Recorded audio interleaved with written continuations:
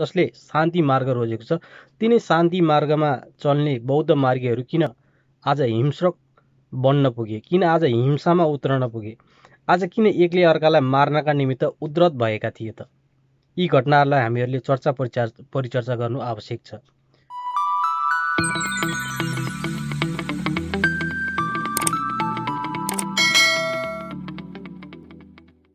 नमस्ते सगोरा नेपालदेखि म आर्य अमृत। तपाईँलाई स्वागत गर्न चाहन्छु तपाईँ हाम्रो यस आर्य अमृत युट्युब च्यानलमा। देशको ठुलो समस्याको रूपमा देखा पर्ने अवस्थामा रहेको छ रोहिङ्ग्या मुसलमान। ढिलो वा चाँडो देशको एउटा समस्याको रूपमा यो स्थापित हुनेछ। यो कुन अवस्थामा भन्दाखेरि हामीहरूले विगतका घटना देखिरहेका छौँ। म्यानमारदेखिबाट एउटा विस्थापित समुदाय एउटा ठुलो सङ्ख्याको समुदाय नेपालमा शरण लिएर नेपालमा शरणार्थीको रूपमा आज स्थापित बन्दै गरेको अवस्थामा हामीहरूले विभिन्न यसका घटना परिघटनाहरूलाई विभिन्न समयमा चर्चा परिचर्चा गर्दै आएका छौँ। काठमाडौँको कपन स्थित स्थानहरूमा साना साना टहरा बनाएर सरकारले नै एउटा स्थापित गराउने काम गरिरहेको छ रोहिङ्ग्या मुसलमानहरूलाई। रोहिङ्ग्या मुसलमानहरू कसरी विस्थापित बनेर नेपालमा शरण लिन आइपुगे त? यसको पनि थोरै चर्चा गरौँ। म्यानमार एउटा यस्तो देश हो जसलाई बुद्धिस्ट राष्ट्र भनेर चिनिन्छ। अर्थात् त्यहाँका बहुसङ्ख्यक व्यक्तिहरू आज पनि बौद्ध धर्मलाई आफ्नो मूल धर्म भनेर स्वीकार्दछन्। र त्यहाँको सरकारले पनि बौद्ध धर्मलाई आफ्नो धर्म भनेर स्वीकार्दछ आज त्यस देशमा जसले बुद्धको अनुयायीको रूपमा आफूलाई स्थापित गरेको छ जसले शान्ति मार्ग रोजेको छ तिनै शान्ति मार्गमा चल्ने बौद्ध मार्गीहरू किन आज हिंस्रक बन्न पुगे किन आज हिंसामा उत्रन पुगे?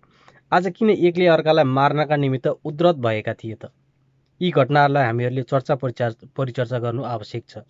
विश्वकै इतिहासमा एउटा मानव संहारको एउटा इतिहास रचेको थियो म्यानमार घटनाले। म्यानमारमा जुन हिसाबले बौद्धिस्ट र रोहिङ्ग्या मुसलमानहरूको एक आपसमा ठुलो एउटा मतभेद र एउटा द्वन्द्वको अवस्थामा एउटा ठुलो मानव नरसंहार भएको थियो र म्यानमार सरकारले यति क्रूर र यति निर्ममतापूर्वक रोहिङ्ग्या मुसलमानहरूको हत्या गरिरहेको थियो। यो विश्वको इतिहासमा सायद बिरलै यस्ता घटनाहरू देख्न सकिन्छ। आखिर किन म्यानमार सरकारले यति क्रूर ढङ्गले त्यहाँको एउटा मुसलमान समुदायहरूको हत्या गरिरहेको थियो त? यी घटनाहरूलाई हामीहरूले पछाडि फर्केर हेरिरहँदाखेरि त्यहाँ कुनै यस्तो कारण हुन सक्दछ जस जुन कारणले गर्दाखेरि ती घटनाहरू घटेको थियो भनेर हामीहरूले अनुमान लगाउन सक्दछौँ। कुरो हत्या र नरसंहारमै सीमित रहेन।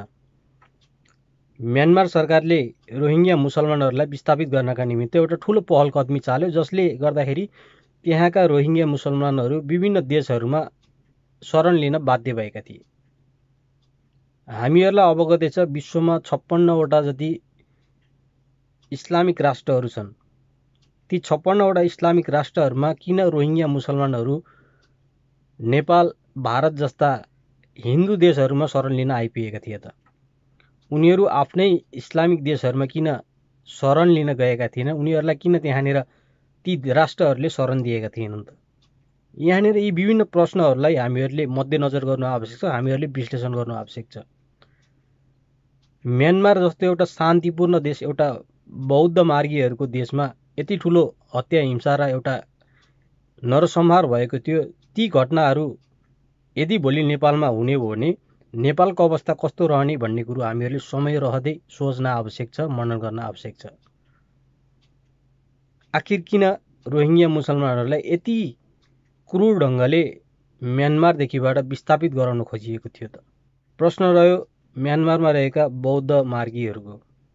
बौद्ध मार्गीहरू आफैमा एउटा शान्त स्वभावका व्यक्तिहरू हुने गर्दछन्।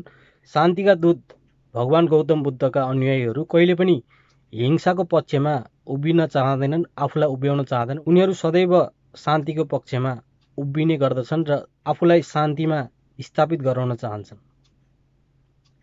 यो घटना त्यही घटना हो जहाँ बौद्ध मार्गीहरूलाई रोहिङ्ग्या मुसलमानहरूले क्रूर ढङ्गले हत्या गर्ने उनीहरूलाई यातना दिने उनीहरूलाई हिंसाको मार्गमा भड्काउने काम गरेका थिए त्यहाँका रोहिङ्ग्या मुसलमानहरूले। यो घटनाहरूलाई कुनै बनावटी रूपमा मैले व्याख्या विश्लेषण गरिरहन आवश्यक छैन। यी घटनाहरूलाई तपाईँहरूले आफ्नै अनुसन्धानबाट पनि बुझ्न सक्नुहुनेछ तपाईँहरूले यसलाई तथ्यगत ढङ्गले खोज तथा विश्लेषण गर्न सक्नुहुनेछ। त्यो खोज तथा विश्लेषणकै आधारमा आज मैले यस भिडियोलाई निर्माण गरेको छु। र जसरी बौद्ध मार्गीहरूलाई एउटा शान्ति मार्गदेखिबाट हिंस्रक बनाउनका निमित्त उनीहरूले एउटा भूमिका निर्वाह गरे त्यो नै उनीहरूलाई एउटा अफाप सिद्ध भयो। उनीहरूलाई एउटा ठुलो घातक अवस्थाको सिर्जना भयो। जब बौद्ध मार्गीहरू आफ्नो समुदायको अस्तित्व जोगाउनका निमित्त हतियार उठाउन बाध्य भने तब रोहिङ्ग्या मुसलमानहरू त्यहाँदेखिबाट विस्थापित बन्न पुगेका थिए। त्यहाँ एउटा ठुलो मानव नरसंहार भएको थियो। त्यो घटना आज पनि फर्केर हेर्ने हो भने एकदमै दयनीय एकदमै क्रूर रहेको छ। हामीहरूले बुझ्न सक्दछौँ। त्यस घटनामा कैयौँ निर्दोषले ज्यान गुमाउनु परेको थियो। कैयौँ बालबच्चाहरूले कैयौँ महिलाहरूले कैयौँ वृद्ध वृद्धाहरूले आफ्नो ज्यानको आहुति दिनु परेको थियो। वास्तवमै यति ठुलो क्रूर र मानवीय नरसंहार मैले मेरो जीवनकालमा पहिलोपटक यो अनुभूत गरेको थिएँ जब त्यस घटना घटेको थियो। र यसरी शान्तिको पक्षमा उभिने बौद्ध मार्गीहरूलाई एउटा हिंसक बनाउने काम रोहिङ्ग्या मुसलमानहरूले गरेका थिए। र त्यही कारणले गर्दाखेरि उनीहरू त्यहाँबाट विस्थापित बन्न पुगेका थिए र उनीहरूलाई विश्वका छप्पन्नवटा इस्लामिक राष्ट्रहरूमा कुनै पनि राष्ट्रमा शरण दिएको थिएन र उनीहरू नेपालसम्म आइपुगेका थिए म्यानमारदेखिबाट र यो हाम्रो बाध्यात्मक अवस्था भनौँ या यो हाम्रो सौहार्दता भनौँ। नेपाल मात्र एक यस्तो राष्ट्र थियो जसले विश्वका कुनै पनि राष्ट्रहरूमा अस्वीकार्य समुदायलाई शरण दिइएको थियो। लाग्दछ हामीहरूलाई सुन्दाखेरि एकदमै गर्वले छाती फुल्दछ कि हामीहरूले जो कोहीलाई पनि शरण दिन सक्दछौँ हामीहरूले जो कोहीलाई पनि अपनत्व भावना लिन सक्दछौँ भनेर हामीहरू गर्व गर्न सक्दछौँ। भोलि भविष्यमा त्यसले पार्न सक्ने असरको बारेमा हामीहरूले कहिले पनि चिन्तन मनन गरेका छैनौँ। हुन त यो कमजोरी हाम्रो भन्दा पनि नेपालको सरकारको रहेको छ जसले यस घटनालाई गम्भीरतापूर्वक नलिएर वर्तमान अवस्थालाई नै सर्वेसर्वा ठानेर एउटा ठुलो गल्ती गरिरहेको छ। भोलिका दिनमा यस घटनाले पार्न सक्ने प्रभावको बारेमा हामीहरूले कुनै पनि चिन्तन मनन गरेको नेपालको सरकारले कुनै पनि सोच विचार नगरेको भन्ने हामीहरूले बुझ्न सक्दछौँ।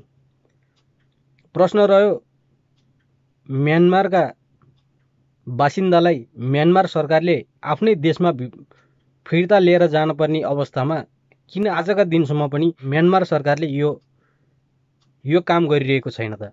आजको दिनसम्म आइपुग्दा पनि यति ठुलो लामो समय अन्तरालमा पनि नेपाल सरकारले किन म्यानमार सरकारलाई एउटा अनुरोध गरिरहेको छैन कि नेपालमा अस्थायी रूपमा शरणार्थीको रूपमा बसोबास गरिरहेका म्यानमारका नागरिकहरू जसलाई रोहिङ्ग्या मुसलमानहरू भनेर चिनिन्छ ती व्यक्तिहरूलाई किन आज म्यानमार सरकारले वापस फिर्ता बोलाउनका निमित्त नेपाल सरकारले किन अनुरोध गरिरहेको छैन? किन नेपाल सरकार मातादेखिबाट यो काम भइरहेको छैन? किन नेपाल सरकारले उनीहरूलाई आजका दिनसम्म पनि सुरक्षा र संरक्षण दिएर राखिरहेको छ त? भोलिको दिनमा यसले पार्न सक्ने प्रभावबारे नेपाल सरकारले किन यसलाई चिन्तन र मनन गरिरहेको छैन र उनीहरूलाई आफ्नो देशमा सहज रूपमा बसोबास गर्ने अवस्थामा सहजकर्ताको रूपमा नेपाल सरकारले किन एउटा भूमिका निर्वाह गरिरहेको छैन? यो एउटा प्रश्न चिन्ह रहेको छ। आज नेपालमा जुन हिसाबले नेपालकै नागरिकहरू एउटा गरिबीको रेखामुनि पिल्सिन बाध्य भएका छन् गरिबीको रेखामुनि पिल्सिएर खाना लाउन र बस्न नै धौधौ पर्ने अवस्थामा जस्तो देशकै राजधानी जहाँ एक हात जमिन खरिद गर्नका निमित्त लाखौँ खर्चिनुपर्ने अवस्था आइरहेको छ उक्त स्थानमा रोहिङ्ग्या मुसलमानहरूलाई स्थापित गराउनका निमित्त नेपाल सरकारले यो भूमिका निर्वाह गरिरहेको नेपालीहरू स्वयं घाँस बाँस र कपासको आवश्यकतामा पिल्सिरहेको यो समयमा यो कालखण्डमा नेपाल सरकारले आफ्ना नागरिकहरूलाई संरक्षण गर्नुपर्ने अवस्थामा त्यो एउटा भूमिका निर्वाह गर्न सकेको छैन तर उसले अन्य देशको नागरिकलाई संरक्षण गरिरहेको छ। यो किन भइरहेको छ? यो किन भेदभावको अवस्था रहेको छ? यो किन भेदभावको स्थिति देखा परिरहेको छ? यो बारेमा पनि हामीहरूले चिन्तन मनन गर्न आवश्यक छ। होला हामीहरूले सर्वधर्म समान भन्दछौँ सबैलाई समान मान्दछौँ। हाम्रो धर्मशास्त्रले बताएको विश्वलाई एउटा घर र विश्वमा रहेका सम्पूर्ण मानवहरूलाई एकै परिवारका सदस्यको रूपमा हामीहरूले लिँदछौँ। तर त्यो भन्दै गर्दाखेरि एउटा बौद्ध मार्गीहरूलाई समेत हतियार उठाउन बाध्य गराउने ती समुदायहरूले भोलि नेपालमा त्यही अवस्थामा कुनै घटनाहरू घटायो भने त्यसको जिम्मेवारी कसले लिने?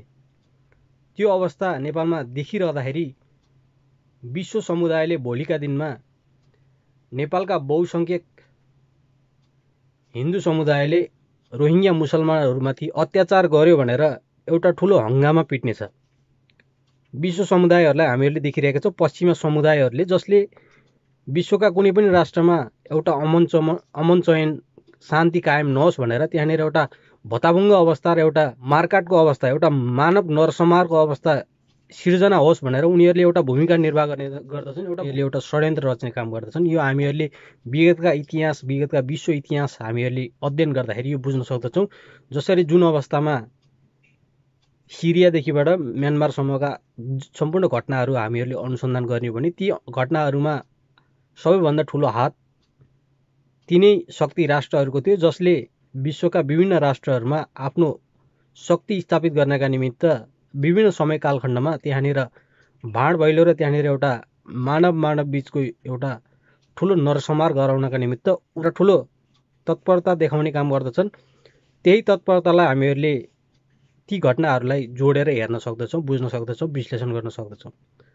त्यस अर्थले गर्दाखेरि म्यानमार सरकारले आफ्ना नागरिकहरूलाई जुनसुकै हालतमा पनि फिर्ता लैजानका निमित्त नेपाल सरकार मातहतका सम्बन्धित निकायहरूले यसबारे आफ्नो भूमिका निर्वाह गर्न आवश्यक छ र यदि ती सम्बन्धित निकायहरूले आफ्नो भूमिका निर्वाह गर्दैनन् भने हामीहरूले हाम्रो जनस्तरदेखिबाट उनीहरूलाई एउटा दबाब दिने हिसाबले हामीहरूले हाम्रो स्थानदेखिबाट भूमिकाहरू निर्वाह गर्नु आवश्यक छ। यदि हामीहरूले यस कार्यलाई ढिलाइ गऱ्यौँ भने यसबाट भोलि पर्न सक्ने चुनौतीहरू र यसबाट भोलि पर्न सक्ने असरहरूको जिम्मेवारी हामीहरू स्वयंले लिन आवश्यक छ किनभने हामीहरू यस देशका सजग र सचेत नागरिक हौँ र त्यस अर्थले गर्दाखेरि हामीहरूले हाम्रो स्थानदेखिबाट गर्न सक्ने भूमिका निर्वाह गर्नका निमित्त हामीहरू स्वयं अग्रसर हुनुपर्दछ। यदि हामीहरू अग्रसर हुन सकेनौँ भने त्यसबाट पर्ने असरहरू हामी स्वयंले त्यसको भागीदारी हुनु पर्नेछ। र यिनै विषयवस्तुहरूलाई यस भिडियोमा मैले तपाईँहरू समक्ष बताउनका निमित्त यस भिडियोको निर्माण गरेको थिएँ। यहाँ कुनै जाति समुदाय र कुनै धर्मलाई आक्षेप लगाउने भन्दा पनि जुन वर्तमान अवस्थामा देखिएको समसामयिक अवस्थालाई मध्यनजर गरेर यस भिडियोमा विश्लेषण गर्ने काम मैले गरेको छु यसलाई सकारात्मक ढङ्गले लिइदिनु हुन तपाईँहरू सम्पूर्णमा हार्दिक अनुरोध पनि गर्न चाहन्छु र यस भिडियो हेरे पश्चात तपाईँहरूले आफ्नो भूमिका निर्वाह गर्नका निमित्त अग्रसर रहनुहुनेछ भन्ने विश्वास पनि लिएको छु। हस्त नमस्ते जय सम्भव